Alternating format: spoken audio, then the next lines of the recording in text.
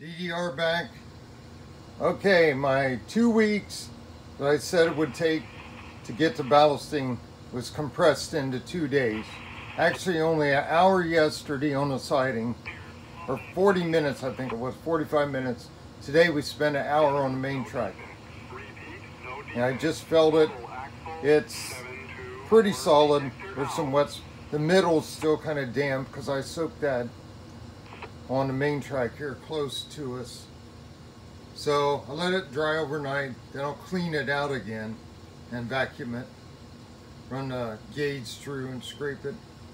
So we tried to vary it. You can see there on the back siding how the ballast is down away from the ties more away from the rail.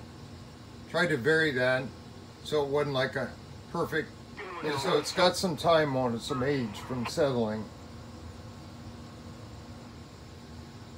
Now let's let's come up here.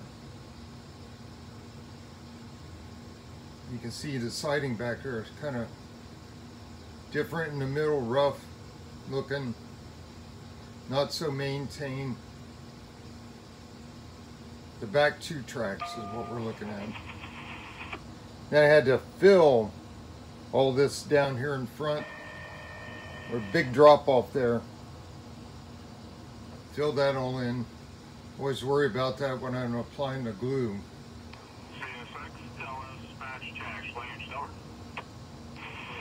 So we went all the way on this side of the switch. That's all I can zoom. Right up over to made sure I just checked all the throws are free as can be.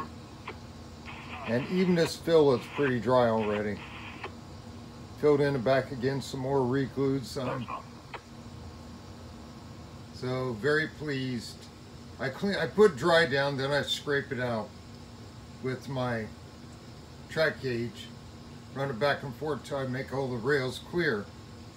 But when you put the liquid in sometimes stuff floats up and you got to go back and clear that after it's dry. and then then we'll vac it out and we got to clean the tops because we got glue on the track. I checked power. It's there, but it's intermittent. You have to find a good spot, conductive. It'll be fine. Already ran a local back through the siding this morning before I did the main. And this stuff here is going to come out.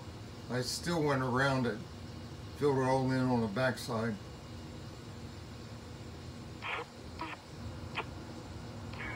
So there we come up all the way to the bridge. It's zoomed all the way, it's all I can do. So there we go, and I have to back out the track on this side that's loose, not glued.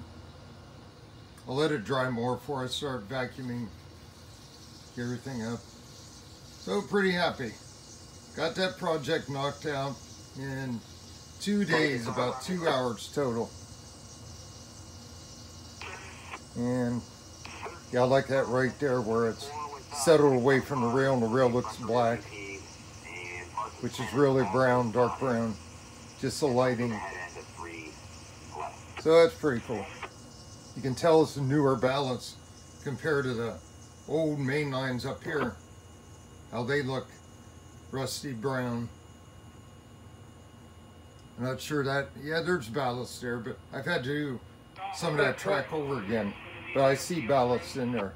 It's old and rusty brown debris. Been there a long time. Excuse me, been there a long time.